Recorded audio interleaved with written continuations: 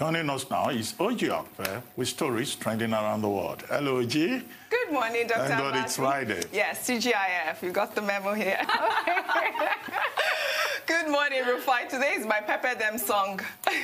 Ojinika Pepper Dem. And this one, usually Tundu will dance with me, so you have to. Ojinika Pepper Dem. Happy Friday, Rufai. You know I sang this song for you because you are in charge. Anything you say I should do, I'll do. Very well, very well. Happy Friday, Rufai. Well, good morning to you, viewers. We begin what's trending in Nigeria. On Thursday, the governor of Edo State, Godwin Obaseki, allegedly ordered some men to begin renovations at the Edo State House of Assembly complex shortly after he addressed some members of the People's Democratic Party at that same complex. The men were seen removing the roof and dismantling the symbolic mace at the top of the building. Earlier in the day, some policemen stormed the House of Assembly, and the PDP alleged that they were there to provide a cover for some lawmakers to cause chaos and subsequently remove Governor Obaseki. The ruling All Progressive Congress, in response, accused the governor of destroying the assembly complex under the pretense of a renovation ex exercise out of the fear that his illegally formed assembly of just five members will be overturned and replaced. What transpired after has added more dimensions to the politi political crisis in Edo State. Well, Adeswa, you know, we always come to you with this Edo crisis, right? You know, it seems like the Edo uh, House of Assembly has been a subject of abuse by gladiators. You know, in October 2018, Adams Oshiomhole was quoted to have said that he, um, you know, removed the roof of this same House of Assembly to avoid impeachment. Adeswa. Well, it's like, I, I, think we've said a lot about this, but um, I, I, also think that truly is because the people might, you know, be restricted to limited choices. Um, in a case where we had viable, strong opposition political parties who understood the yearnings of the people, I think that this bickering and unnecessary um, lawlessness that we see from all gladiators in this situation may not be arising if they knew that the people had an, an alternative to these two, uh, APC and PDP in this case. Uh, I, I, think they would sit up. I, I think it's just it's, it's a wake-up call for all of us. Now, beyond the Edo State people, it's a wake-up call for Nigerians. We need to define what democracy is. Is this the, the democracy that you know was fought for? And how long can we practice democracy as they are now interpreting it in this instance in Edo State? Well, this is the third time or, or so that we're taking this topic this morning. So we've already said a lot in terms of the role of the various parties involved as individuals and also the uh, institutions and the kind of uh, reign of impunity that we're beginning to witness in Edo State. And our concern is that this could have implications for the integrity uh, for the conduct uh, of the uh, September 19 gubernatorial elections. INEC held a meeting yesterday at which it expressed concern about the threat of violence coming from Edo State. And just coincidentally, the same day that INEC uh, was holding that meeting, we saw what happened uh, in that state with the abuse of uniform, abuse of privilege, and violation of uh, due process uh, in all that uh, transpired. But I think the only thing to add is to call on the voices of reason in Edo State. It's not everybody in Edo State uh, that is a politician. Uh, of course, there, are, there will be traditional rulers, leaders. Uh, there will be uh, elder statesmen within the state. There is also the traditional institution. And I make this point because earlier on I said, look, the president should personally take an interest in what is going on in Edo State and try to call the people to, to order. When we spoke with uh, Senator uh, Abiodun Olujimi, she made the point that, in fact, the legislature and the executive should work together and we should not allow the situation to just become a self-fulfilling uh, prophecy in terms of gangsterism and rascality. So the thing to add is that stakeholders in Edo State, it's about time they began to intervene, to remind the gladiators in principally the People's Democratic Party and the All Progressives Congress that Edo State does not belong to them alone, that there are other stakeholders who want peace and progress and stability in that state. Mm -hmm. Because unless that happens, um, you know, we, we, could have a, a, blowout on our hands on uh, September 19. And I hope that those stakeholders will not just say, uh, this is for the politicians. It's not for the politicians. It's about the, uh, the, the, stability of Edo State itself. Rufai, what is your take on the renovations that are ongoing at this point? I believe we also have some um, images of the destruction that took place yesterday at the Edo House of Assembly. Renovation in quote, like Adeswa will call it. But I, I don't want to say anything about the renovation. We're all seeing this scheming. I said something before in the morning. I said it's cloudy now. When it rains, we'll see where it will rain to. I just hope this does not affect the people of Edo State that need the much needed development. Because all of this, as far as I'm concerned, that is playing out among both parties is what I would like to call political calisthenics. They should keep playing it. No party here is immune to the blame. But let's be careful. Let's be careful. We have seen this play out over and over and over again. Plus the side that is calling in federal might, plus the other side that is renovating and the likes, plus the lawmakers that know the law that went to sit in a house, not the, the, the House of State House of Assembly, and they elected a new speaker, the parallel speaker. Let's all be careful. But I know there is none of this happening that is in the interest of an average Edo person. That's what saddens my heart. This but is it is cloudy. Mm. It is cloudy now. It will rain, but I just hope the rain falls on the good side. This is what happens when lawmakers become lawbreakers. Mm. Exactly. It's as simple as that. Very good point. And right there are the pictures from the Edo House of Assembly that we just received here at Arise News. Let's uh, take another story in Nigeria. Thousands of residents of Turari and Dongon Ruwa communities under Dutsin-Ma local government area of Katsina State on Thursday morning blocked a highway to protest repeated attacks by armed bandits on the community. The residents said the protest followed an attack in which many of their people lost their lives and their women were being raped. The protesters asked President Muhammadu Buhari and Governor Aminu Masari to resign over the spate of insecurity in the state. Last month, um, rather in June, a billboard bearing the picture of President Muhammadu Buhari and the logo of the All Progressive Congress was burnt by protesters in Yantumaki town, Danmusa local government area of Katsina State.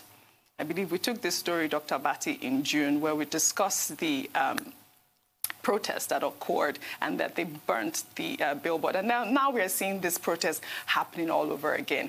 Reportedly, there are over 150 people that have died in the same state. And these people are outraged. There are people saying that, you know, these might be paid um, you know, protesters. But I, I, highly doubt that this could be paid protesters to come out to register their information. I want to take one uh, tweet real quick by a user who wrote, um, If Femi Adesina called yesterday's protesters, which was um, the Revolution Now uh, protest, irritants. I suspect he's likely to call those who protested today in Katsina mere nuisance. Awaiting Femi's response on protests in PMB's home state. Femi Adesina, the man who holds the ace. Over to you. Well, I mean, uh, this is the home state of the president of Nigeria. This is not the first time we will have uh, protests uh, from in that state over the state of uh, insecurity across the country. And what this shows, of course, is that every Nigerian is affected by the problem of insecurity. When you say northeast or northwest, or you talk about what is even happening in uh, parts of the southern part of the country. So it's a national challenge. And uh, those who are trying to politicize it, I don't think they're fair. This is not about politics. This is about the safety of lives and property. And it doesn't matter where you come from. We are all in it together. And the average Nigerian is expecting that government will step up its game and be able uh, to provide the security that we all need. Very good. Very good. Well, well we, let's take a short break. Right uh, and then when we return, what's trending with Ojy where we continue. We'll be right back.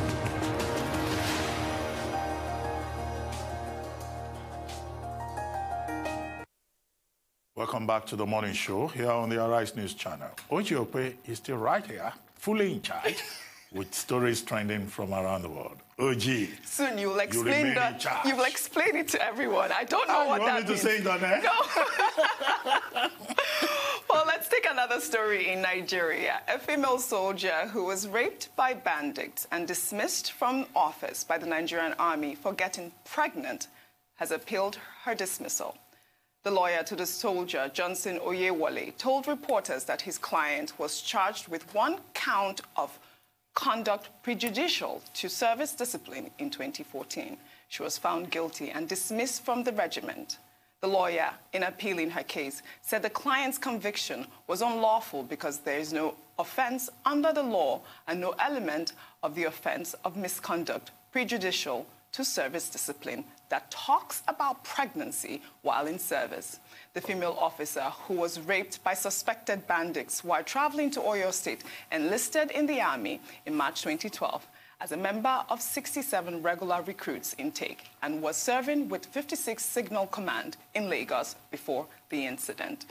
You know, when I read this case yesterday, I'm, I'm glad that she's appealing her case at this point, but I was outraged by the fact that the Army dismissed her even when it says in the Constitution that there is no law that claims that, you know, when you get pregnant while in service, it's an issue. I guess one of the reasons that they were saying that they dismissed her, they were saying that it was because of the um, time difference between the time that she said that she was raped and the time that she got pregnant, which I think is completely absurd. Balderdash, it is preposterous to think that this will happen in the Nigerian army. If it's not against the operational code of the military to get pregnant, I don't see why this is the case. And for me, this is double. Uh, well, to have a child is a joy to anyone, but this is this did not happen under normal circumstances. She was raped by five men, raped. and she had medical reports. Exactly, and she that. took permission to go on that trip. And then she came back from that trip raped, and she had medical reports to show. And then she had to be dismissed when, uh, 12 weeks after, she became pregnant. It is wicked. Well, I mean, she was raped, one, and now uh, she's been dismissed from uh, service uh, for acts considered prejudicial to the service. So clearly, it's a case of double jeopardy. Yeah. But I think that you know the state, uh, the Nigerian army is unfair to her. Now, the uh, in the operational guidelines issued in 1967 by General Yakubu Gowon, I think at the time, uh, you know, paragraph four of that operational guideline, he as head of state and commander-in-chief in the context of the Civil War, said that, look, women should not, pregnant women should not be subjected to any form of ill treatment. And I hope that, you know, if you expand the definition of that, it was not just referring to war situation, but, you know, a certain expect expectation in terms of operational guidelines. But in this particular case, what we're dealing with is uh, also not just that she didn't report on time, is the, uh, uh, the uh, gender discrimination that we have in Nigeria. Do you know that if you want to join the NDLEA, for example, the NDLEA Act says you cannot be pregnant and come and join the NDA, and you cannot uh, be pregnant within uh, two years of joining the service. Now, in the Nigerian police, Section 217, there's also a similar discrimination against uh, married women. Married women, if you are married, the police will not recruit you. Mm. And then, of course, if you get pregnant, you may be dismissed, you know, but you can be forgiven by the Inspector General of uh, Police. Now, in this particular case, the petition, uh, the appeal has gone to the uh, Chief of Army Staff, uh, Lieutenant General Buratai, and I hope that the uh, Chief of Army Staff would, you know, accept the appeal and uh, ensure that she's reinstated. But what is the basic concern? It's about mobilization, I guess, with regard to uh, pregnancy. Mm. Because if you are a soldier and you are pregnant, then it will be easy to mobilize you. It will create problems of deployment. But perhaps we can learn from other jurisdictions. Uh, the uh, U.S. Army began uh, enlisting women in 1948. By 1978, in fact, they have maternity gowns for female soldiers. Mm. So that either you are in the Navy or you are in the Air Force, if you get pregnant, there's still a uniform for you. And, you know, maybe your work will be reduced, but nobody discriminates against you because uh, you are having uh, uh, children. Now, finally, I think the, uh, there's an association called Nigerian Army Officers' Wives Association. Yes. yes. Now, I, I, I don't know the scope of their engagement, uh, maybe just to just to hold about, parties yes. or to organize uh, mami markets. But I think that that association should take an interest in this matter. I mean, they may not be the soldiers themselves, but they can advise their husbands, influence their husbands, and say that this is a clear case of discrimination against a woman who was raped. Who was raped? And then you dismiss her from, uh, from work, uh, you know, further compounding our situation. I think other NGOs also should take up our matter. And, you know, we should know that she herself refused to comment. Because yes. when she was approached, she said no, she was not saying anything. Her lawyer was hand, no, her lawyer handling the matter. The so that yes. shows that she's still a, you know, uh, fully aware of what the uh, guidelines I'm are. very hurt, I believe. Rufai, please, what is your take on this story? I'm very hurt, just like the last word you said. It's very painful that we still have this. And this cascades down to the whole mindset about women in this country. It is quite very painful that a woman is treated this way because she got pregnant. It's, it's unbelievable. Newsflash. Head of Metropolitan Police in England, Cressida Dick, is a woman. We, we have not still seen a woman lead the military yet in this country, and all sorts is going on at a point in time like this. It's very painful. And, and the lawyers should take this on, you know, for quite a time. And, and Dr. You talked about uh, Police Officers' uh, Wives Association. I, I, think pretty much what Arms Men Wife Association, I think pretty much what, what they do is just the welfare of the wives. But if by oversight they can extend to, to the welfare of female officers, and who speaks up for them? Who speaks up for them? It's quite very painful. So you're just going to tarnish, you know, the career of a woman that who, who knows, she might just be like another Major General Kale. Yemi Kale's mother that rose up to be a Major General in the military in this country. Ronke, so, I mean, Ronke, Ronke Kale. Yeah, you know, that, that, that, that, that rose up to be a major general in the military in this country because she got pregnant and she was raped on top of that? Well, really let us, let us say yeah. that, look, if the uh, uh, chief of army staff does not accept the appeal, then uh, a lawyer should go to the regular court. But the problem we have is that if you look at the Evidence Act, which is why I, I keep talking about gender discrimination, I think it's section 211 of the uh, Evidence Act. Under the Evidence Act in Nigeria, a woman who is raped is assumed to be a, a, a wayward woman. And that's, that's the fundamental problem. It's the, the fundamental problem, and it's horrible. I guess we had a guest over the weekend Adeswa who yes. talked about the feminization of, of, the force, of the force, of the security and, force, and, and I think this is what she's talking about when we have to protect women in our laws. It's, it's really horrible. wrong. A woman that, that, that is raped is said to be wayward. I mean, what was the spirit behind that, that law? Well, check section 211 of the, the Evidence spirit, Act. It's annoying. These are things that are very abhorrent in this country. We still have a mental law that calls people lunatic. It's annoying. Yes. And, and these are the things we should, we should expect to change rather than frolicking around and having fainting spells and things like that. It's annoying. In fact, the phrase is that the woman uh, will be suspected to be a generally immoral character. Can you imagine? There you have it. my excuse that they were saying it was because of the amount of the, the, time that she reported her rape did not match with the time and she got pregnant. She got you, pregnant. You see, Ridiculous. You see, I'm sorry, but with things like this, are we even thinking that we're going to leave this country for our children yet unborn? Mm. Do we even think that way? It's a sad situation. well, sad. I hope this case is looked into as soon as possible. Let's take another story.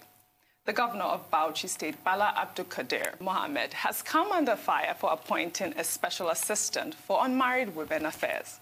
In a letter dated August 4th to a Miss Bala Bra Ibrahim, the governor said the appointment was based on her knowledge, experience, and personal qualities of handwork, honesty, and absolute loyalty. Ms. Ibrahim is the chairperson, Association of Divorcees in the state.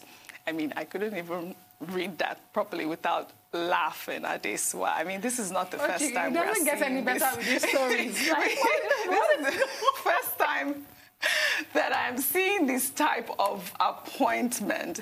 I mean, so, you know, we no, discussed this some, a little bit. We are still some unusual appointments. We've seen, I mean, mm, recently, I think Imo State, 2017, when, when, when, they, when they appointed this woman for happiness, I mean, his sister for uh, Commissioner of Happiness, is yes. that what it was? So, something about happiness. happiness, and, and, and fulfillment. Yes. Yes. Now, please, what would be her duties at this point? I mean, is it for just unmarried women or just women that she will be taking care of at this point? And what is the case for unmarried women?